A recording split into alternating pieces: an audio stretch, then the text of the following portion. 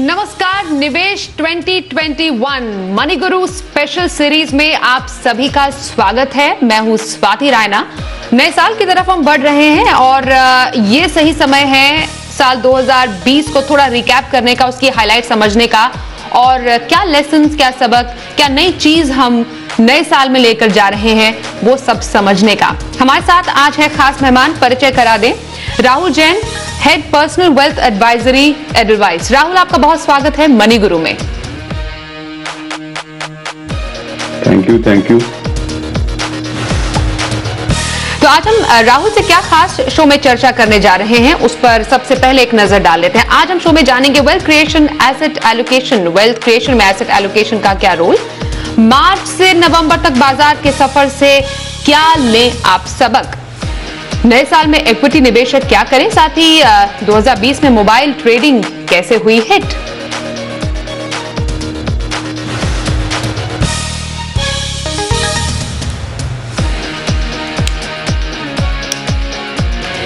राहुल साल 2020 अ, अगर हम देखें तो न सिर्फ़ हमारी निजी ज़िंदगी में बल्कि हमारे आसपास शेयर बाज़ार में हमारे निवेश में अ, काफ़ी इवेंटफुल साल रहा है। और अगर हम इसकी कुछ हाइलाइट्स की बात करें और अ, अगर हम थोड़ा रिकैप करके मार्केट्स को ही अ, खास तौर पर जनवरी से मार्च या फिर मार्च से नवंबर तक का अगर हम ज़िक्र करें तो क्या खास लगता है? मतलब साल 2020 के हाइलाइट्स क्या कहते हैं? साल हज़ार 2020 तो आई थिंक बहुत ही ज़्यादा हाईलाइट है बहुत ही वॉलेटाइल साल रहा है। अ, अगर आप देखें ये पूरा साल तो पैंडेमिक की बातचीत में ही निकल गया। और मार्केट पॉइंट ऑफ़ व्यू से देखेंगे तो अगर आपको याद हो मार्च अप्रैल के टाइम में मार्केट में इतना पैनिक था इतना पेसिमिज्म था। और अगर आप आज देखें तो इक्विटी मार्केट्स ने ऑलमोस्ट 75-80 परसेंट का रिटर्न दे दिया है। और मार्केट ऊंचाई हर दिन नई ऊंचाई हिट कर रहा है। तो की हाइलाइट्स तो यही रहेंगे कि पहले बहुत ज़्यादा पेसिमिज्म था बहुत घबराहट थी इन्वेस्टर्स के अमंग और अभी अब देखे जाए तो बहुत ज़्यादा पीपल आर वेरी हैप्पी वो काफ़ी खुश हैं और और अ, काफ़ी इन्वेस्टमेंट भी ग्रो कर रहे हैं उनके ऑन इक्विटी साइड तो इन दैट सेंस कि इस पूरे साल में उतार चढ़ाव दोनों रहे हैं और अ, काफ़ी नई चीज़ें भी सीखने को मिली है इन्वेस्टर्स को कि कैसे पैनिक के टाइम में अ, कैसे अपना पोर्टफोलियो को संभाला जाए और एसेट एलोकेशन जैसी चीज़ों के थ्रू कैसे अपने आप को वेल्थ क्रिएशन कर सकते हैं लॉन्ग टर्म के लिए। एब्सोल्युटली कई सबक जो निवेशक है वो नए साल में लेकर जा रहे हैं। जैसा आपने कहा कि मार्केट मार्केट काफ़ी ज़्यादा इवेंटफुल रहा हमारी ज़िंदगी काफ़ी इवेंटफुल रही है। इनफैक्ट कुछ फिगर्स जो अ, अम, आपने हमें प्रोवाइड किए। हम थोड़ा सा उन आंकड़ों के ज़रिए भी समझना चाहेंगे कि अ, क्या खास रहा है? मतलब जो ट्रेंड जो रहा है स्पेशली अगर हम अ, निफ्टी की बात करें राहुल तो जनवरी टू मार्च हमने देखा अ, थोड़ा बहुत मार्केट ठीक ठाक तो कर ही रहा था लेकिन जो बड़ा फॉल हमने मार्च में देखा उससे निवेशकों का भरोसा काफ़ी ज़्यादा डगमगा गया। तो जनवरी से लेकर मार्च तक का अगर हम निफ्टी का ही प्रदर्शन देखें मार्च में माइनस ट्वेंटी थ्री परसेंट शायद लोगों ने हो सकता है कि थोड़ा बहुत इसको प्रिडिक्ट किया हो, पर इतना ज़्यादा गिरावट आएगी, उसको लेकर जो इन्वेस्टर्स का जो बिहेवियर है, वो किस तरीके से सामने निकल कर आया? सो अगर आप देखें, ये जो जनवरी से मार्च के बीच में जो गिरावट आई, या फॉर एग्ज़ाम्पल मार्च में जो गिरावट आई उसमें से एक चीज़ तो बहुत क्लियर निकल के आई कि जो भी लोग इक्विटी की तरफ़ ओवर लीवरेज थे, ज़्यादा निवेश कर रखा था, उनको काफ़ी पेन हुआ। और ये भी क्लियर हुआ कि जिन्होंने अपना रिस्क असेसमेंट ढंग से नहीं कर रखा था, उनको भी काफ़ी परेशानी हुई। उसके अलावा मैं ये कहना चाहूँगा कि जो निवेशक अपना एसेट एलोकेशन ढंग से मैनेज कर रहे थे, जिनका अच्छा रेशियो था उन्होंने उस टाइम को बहुत बड़ा अपॉर्चुनिटी भी यूज़ किया इन्वेस्टमेंट करने के लिए उस टाइम पे, जिनको अभी काफ़ी मुनाफा हुआ है इन लास्ट छह महीने में तो उन्होंने काफ़ी अच्छा रिटर्न बनाया। तो दोनों साइड के स्टोरी है, जहाँ लोगों को नुकसान भी हुआ, और एक तरफ़ है जहाँ पर लोगों ने बहुत बड़ा अपॉर्चुनिटी पकड़ के उसको इन्वेस्टमेंट भी की तरह भी यूज़ किया है, जो जो उनको आने वाले छह महीने में काफ़ी फ़ायदा हुआ। हम्म एब्सोल्युटली और फिगर्स भी यही कहते हैं राहुल बिकॉज़ अप्रैल के ऑनवर्ड्स जब ऑफ़ कोर्स मार्च में हमने देखा लॉकडाउन का सिलसिला शुरू हुआ uh, लोग अपने निवेश को लेकर काफ़ी ज़्यादा कॉशियस हुए उनके मन में ये शंका भी आई कि हाँ क्या अपने निवेश को जारी रखना चाहिए या फिर यहीं पर रोक देना चाहिए पता नहीं कोविड की वजह से बाज़ार का क्या होगा। उसके बाद जो फिगर्स कहते हैं इनफैक्ट अप्रैल टू अगस्त या फिर अगस्त के बाद नवंबर ये एक महीना रहा है जिसमें markets have done exceptionally well तो नवंबर में 11 परसेंट का इंक्रीज और जैसा आपने बोला कि ओवरऑल अगर देखा जाए तो 70 परसेंट बाज़ार ने अच्छा एक प्रदर्शन दिखाया अपवर्ड मूवमेंट में। तो जिन निवेशकों ने मार्च की इस गिरावट को समझकर और उसको यहाँ पैरामीटर समझकर अपना निवेश छोड़ दिया और वो अब नवंबर में है और वो सोच रहे हैं कि मार्च में हमने ये नहीं किया होता तो शायद नवंबर में हमें काफ़ी ज़्यादा फ़ायदा होता। तो उन निवेशकों के लिए, उनकी, उनके इस पैटर्न पर आप क्या कहेंगे? So, उनके पैटर्न में देखिए मैं आप पहले ही बोल रहा था कि एक चीज़ तो निकल के आती है जिन क्लाइंटों ने जिन निवेशकों ने इक्विटी को ओवर लीवरेज कर रखा था। या फॉर एग्जांपल आपका एसेट एलोकेशन बोलता है या जो आपका इन्वेस्टमेंट पोर्टफोलियो होना चाहिए उसमें आपका सपोज़ साठ परसेंट इक्विटी होना चाहिए चालीस तीस परसेंट डेट होना चाहिए दस परसेंट गोल्ड होना चाहिए। और सपोज़ आपने उसकी जगह हंड्रेड परसेंट इक्विटी का रखा था तो जब टाइम आया मार्च के आसपास तो आप पैनिक कर गए बिकॉज़ आपका पूरा पोर्टफोलियो काफ़ी अच्छे अमाउंट से गिर गया। तो आप ऑब्वियसली जब पैनिक होता था, आप मार्केट से निकलने की कोशिश करते हैं तो आपने उस टाइम लॉस बुक कर लिया।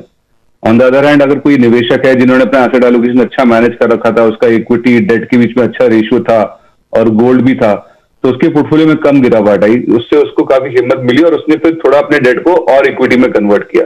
तो जो डेट को उसने इक्विटी में कन्वर्ट किया उस टाइम उसका बेनिफिट उसको अभी लास्ट छह महीने में काफ़ी हुआ। तो मेरा अंडरस्टैंडिंग uh, है या जो हम अपने इन्वेस्टरों को बोलते हैं निवेशकों को बोलते हैं कि आप अपना एसेट एलोकेशन को हमेशा फॉलो कीजिए। उसमें क्या है कि एक तो आपका रिस्क कंट्रोल रहेगा जो आपकी एज आपकी एबिलिटी के हिसाब से ज़रूरी है आपको अंडरस्टैंड करना। उसके अलावा एसिड एलोकेशन आपको हमेशा अलाउ करेगा कि जब भी कोई पैनिक का टाइम है या कब जब भी, भी अपॉर्चुनिटी का टाइम आए तो आप उसको यूटिलाइज कर पाए। तो ये बहुत बड़ा लर्निंग रहा है इन लास्ट छह, नौ महीने में कि जिन जिन्होंने अपना एसेट एलोकेशन फॉलो किया है उन्होंने काफ़ी अच्छा निवेश कर पाए और काफ़ी अच्छा आमदनी अपने निवेश से प्राप्त कर पाए हैं। तो एसेट एलोकेशन का जो एक राइट मेथड uh, है राहुल वो होना क्या चाहिए? जैसा आपने कहा कि जिसने एसेट uh, एलोकेशन को सही से फॉलो किया। मतलब कई ऐसे निवेशक हैं जिन्होंने uh, हम कह सकते हैं क्योंकि जहाँ पर पैसे इन्वॉल्व होते हैं लोग काफ़ी ग्रीडी भी हो जाते हैं। उनको लगता है कि हाँ इक्विटी में अगर अच्छा रिटर्न मिल रहा है तो क्यों ना अपने पोर्टफोलियो का ज़्यादा परसेंटेज इक्विटी में डाला जाए। पर एक एसेट एलोकेशन का एक सही तरीका क्या होना चाहिए? नाउ जब हम साल 2021 में जा रहे हैं, हमें ट्वेंटी ट्वेंटी से काफ़ी कुछ सीखने को मिला है। तो एसेट एलोकेशन किस स्ट्रैटेजी के तहत हम आगे आने वाले निवेश के लिए लेकर लेकर ले चले? सो एसेट एलोकेशन बहुत ही सिंपल है, इसमें इतना कोई मुश्किल नहीं है। एक काफ़ी अच्छा आसान फॉर्मूला है जो काफ़ी एडवाइजर यूज़ करते हैं और मैं सभी को सजेस्ट करता हूँ यही फॉर्मूला यूज़ करें। इसमें काफ़ी आपका काम हो जाएगा अधिकतर। तो जो आपकी एज है, उसको आप हंड्रेड से माइनस करेंगे। सपोज़ कोई चालीस साल का है, वो अपनी हंड्रेड से अपनी माइनस करेगा तो सिक्सटी परसेंट आता है। तो जो hundred minus age should be equity portfolio sixty percent तो सपोज़ अगर चालीस साल की उम्र है तो सिक्सटी परसेंट आपका इक्विटी पोर्टफोलियो हो सकता है। थर्टी परसेंट आपका डेट हो सकता है। और टेन परसेंट गोल्ड हो सकता है। तो ये आपका एक सिंपल एसेट एलोकेशन मॉडल बन गया जिनकी उम्र चालीस साल की है। अभी इसमें थोड़ा आप ट्विकिंग कर सकते हैं, थोड़ा आप इसको और इम्प्रोवाइज कर सकते हैं। जैसे थोड़ा अगर आपका रिस्क प्रोफ़ाइल हाई है तो आप साठ जगह पैसेट कर लीजिए इक्विटी को। अगर आपका थोड़ा रिस्क प्रोफ़ाइल कंजर्वेटिव है, आपको रिस्क लेने में अच्छा लगता है आपको इंट्यूटिवली मज़ा नहीं आता है तो आप उसको पचास कर लीजिए। पर थोड़ा बहुत ऊपर नीचे रहेगा, पर लार्जली हंड्रेड माइनस एज आपका इक्विटी का पोर्टफोलियो हो सकता है। और ये काफ़ी यूज़ करने में काफ़ी इजी है। मतलब बहुत टेक्निकल नहीं है। कोई भी आसानी से इसको यूज़ कर सकता है as as as a formula कि उसका कितना पोर्टफोलियो इक्विटी में होना चाहिए, कितना डेट में होना चाहिए और कितना गोल्ड में होना चाहिए। हम्म। तो बेसिकली एक थम रूल यूजुअली कहा जाता है कि 100 माइनस योर एज जो एक बड़ा फिगर है वो इक्विटी की तरफ़ बाकी रेस्ट ऑफ़ इट आप डेट की तरफ़ डाल सकते हैं। म्यूचुअल फंड का में निवेश का जो ट्रेंड रहा है uh, राहुल uh, उसको देखकर आप क्या कहेंगे? बिकॉज़ म्यूचुअल फंड संगठन एम्फी जो आंकड़े जारी करता है वो कुछ और ही स्टोरी कहता है कि uh, लोगों ने पैसे काफ़ी ज़्यादा रिडीम किए। क्या ये डर था लोगों में कि आ, हमारा पैसा या हमें उतना रिटर्न नहीं मिल पाएगा और आगे अनसर्टनिटी है इसलिए। या फिर लोग थोड़े कॉशियस रहे कि अभी फ़िलहाल निवेश नहीं करते हैं और आगे आने वाले टाइम में हो सकता है जब मार्केट ठीक करे तो हम निवेश दोबारा से शुरू कर दें। तो म्यूचुअल फंड का जो पिछले छह महीने का ट्रेंड रहा है वो क्या इंप्लाई करता है निवेशक के बिहेवियर के लिए? सो so, एक चीज़ तो है मतलब थोड़े कस्टमर या थोड़े निवेशक कॉशियस रहे। तो इसलिए आप देखेंगे जुलाई से काफ़ी कंसिस्टेंट रिडिम्शन आ रहा है म्यूचुअल फंड्स के अंदर। सो so, एक तो चीज़ ये हो रही है कि म्यूचुअल फंड में रिडिम्शन हो रहा है बिकॉज़ एक तरीके से लोग कॉशियस हैं। उनको लगता है कि थोड़ा प्रॉफिट बुक कर लेना चाहिए थोड़ा उनको लगता है कि हो सकता है मार्केट वापस गिरे। Uh, क्योंकि मार्केट ने भी काफ़ी अच्छी बढ़ोतरी दी है लास्ट पाँच छह महीने में जितना कभी देखा नहीं गया। मतलब नॉर्मली इतना रहता नहीं है। तो उससे लोगों को ये तो एहसास हो ही रहा होता है कि अब सोचते तो हैं कि थोड़ा प्रॉफिट बुक कर लिया जाए, जिससे फ्यूचर टाइम में जब मार्केट गिरे तो उसका बेनिफिट लिया जाए। तो एक वो रीजन है म्यूचुअल फंड का। सेकेंडली हमने ये भी देखा है कि बहुत लोग अपना म्यूचुअल फंड को रिडीम करके डायरेक्ट इक्विटी में भी लगाने की कोशिश कर रहे हैं। कि उनका अगर म्यूचुअल फंड इक्विटी था तो उन्होंने बोला कि वो को रिडीम कर लें, उसकी जगह थोड़ा डायरेक्ट स्टॉक्स में खुद ही डैबल कर लें, खुद ही चले जाएँ। तो ये दोनों ट्रेंड देखे जा रहे हैं हम्म, तो क्या ये मार्केट में एंटर करने का सही टाइम है? अगर डायरेक्ट इक्विटी की बात करें म्यूचुअल फंड की भी हम चर्चा कर रहे हैं बिकॉज़ कई जो अभी मार्केट ऑल टाइम हाई पर है न, पूरे नवंबर में अच्छा प्रदर्शन मार्केट ने किया है और अभी भी हम देख रहे हैं कि मार्केट्स काफ़ी अच्छे अच्छी रैली पर है। तो आप क्या बोलेंगे निवेशकों को? हाई मार्केट में निवेश करना एक अच्छा तरीका है? डिपेंड करता है कि आप अगर फ़र्स्ट टाइम निवेशक हैं और अभी तक आपने कभी इन्वेस्ट नहीं किया और आप काफ़ी यंग एज में तो उनके लिए तो कोई भी मार्केट उसमें तो स्टार्ट करना बहुत ही ज़रूरी है। तो वो तो मतलब हर मार्केट में ही चालू कर सकते हैं। तो आप एसआईपी के रूट से हर महीने धीरे धीरे अपना इन्वेस्टमेंट चालू कर सकते हैं, इस करंट मार्केट ट्रेंड में भी। इस मार्केट में जब मार्केट एकदम हाई पे है बट अगर एक दूसरे निवेशक है जिनके एसेट एलोकेशन में ऑलरेडी इक्विटी है, और उनके एसेट एलोकेशन में जब मैं आपको फॉर्मूला समझाया, उसके हिसाब से इक्विटी का भी रेशियो ज़्यादा है बिकॉज़ लास्ट पाँच छह महीने में जो इक्विटी में बढ़ोतरी आई है उसके साथ उसके कारण लोगों का थोड़ा इक्विटी की तरफ़ पोर्टफोलियो में एलोकेशन बढ़ गया है। तो वो लोग सब अभी प्रॉफिट बुकिंग कर सकते हैं राइट नाउ इसके अलावा आई थिंक मैंने एक और चीज़ देखी है बुल रन में। uh, जब भी करेक्शन आता है उस टाइम लोगों के पास कैश नहीं होता उनके हाथों में क्योंकि वो हर टाइम फुली इन्वेस्टेड रहते हैं। तो ऐसे मार्केट में भी करेक्शन को यूज़ करने के लिए थोड़ा कैश होना चाहिए हाथ में। तो थोड़ा अगर आपका इक्विटी पोर्टफोलियो तो वहाँ भी थोड़ी कमी कर सकते हैं थोड़ा प्रोडक्शन कर सकते हैं। इसके अलावा एक चीज़ और देखनी चाहिए कि लोग जर्नली अभी डिफेंसिव सेक्टर में जाएँ इन्वेस्ट करें, क्योंकि मार्केट हाई पे है। और अभी करंट में इक्विटी मार्केट में लीवरेज नहीं करना चाहिए। मतलब लोग, काफ़ी लोग लोन लेके भी लीवरेज करके भी पैसा डालते हैं। वो सब नहीं करना चाहिए राइट ना तो ये तीन चार चीज़ें लोगों को फॉलो करनी चाहिए कि अगर उनका एसेट एलोकेशन इक्विटी की तरफ़ ज़्यादा टिल्टेड है तो थोड़ा प्रॉफिट बुक कर लीजिए। थोड़ा कैश पे आइए सो दैट अगर कभी करेक्शन आए आने वाले टाइम में तो आप उसका बेनिफिट ले पाए। तीसरा है, थोड़ा अगर आप इन्वेस्ट करना ही चाहते हैं तो डिफेंसिव सेक्टर्स में फिर रहिए।